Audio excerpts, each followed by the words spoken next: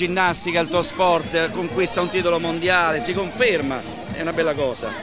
Sì, abbiamo un momento molto importante e bello della ginnastica ritmica che ha vinto un altro mondiale eh, in casa della Tana del Lupo, proprio a Mosca. Sono state davvero meravigliose a breve avremo i mondiali di artistica maschile e femminile a Rotterdam, vediamo di far bene anche lì, ci proviamo insomma. Certo è che è un momento molto felice, siamo con eh, Cristina Cimino, Circolo Sportivo Italia, noi improvvisiamo sempre ma oggi siamo rimasti colpiti perché c'è un gruppo di bambine fantastiche, molto brave. Sono contenta, sì, sono alcune proprio nuove, nuove, nuovi acquisti che sono arrivate quest'anno, altre sono un po' più vecchiette che vengono vecchiette come anni di lavoro perché l'età è giovanissima che, che fanno ginnastica da noi da 2-3 anni e stanno in preparazione per delle gare del 2011, gare in settore giovanile, sperando che in un futuro facciano una buona carriera anche con gare più importanti.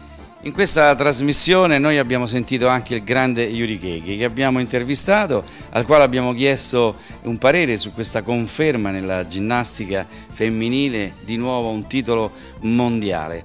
E il vostro movimento è sano?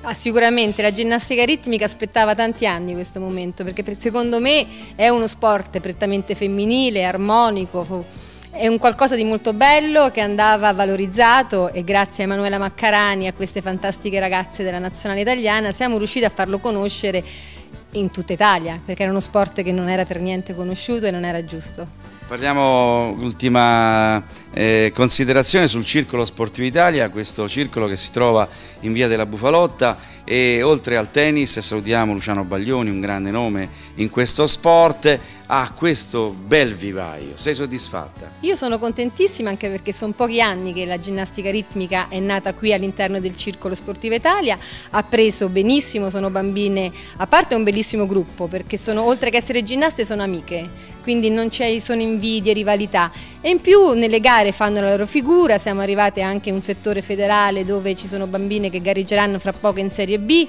abbiamo delle ginnaste che si sono qualificate per la nazionale, abbiamo un vivaio di piccoline tra cui la figlia di Alessandra che è sotto sorveglianza nel settore giovanile tecnico federale e quindi grosse soddisfazioni. Bene. Congratulazioni davvero e congratulazioni a queste bambine che stanno al di là dei risultati eh, svolgendo un eh, lavoro molto importante per la loro crescita.